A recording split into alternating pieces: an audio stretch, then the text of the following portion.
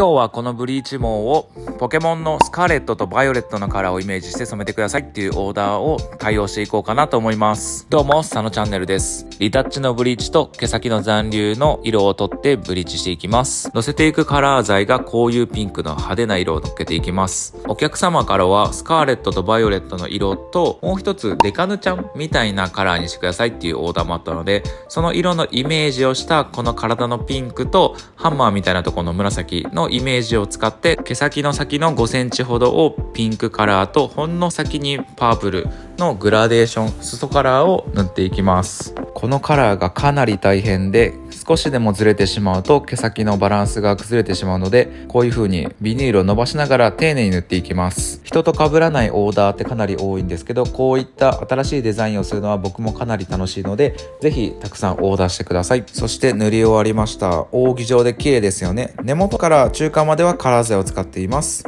じゃあこれの仕上がりがこちら。はい。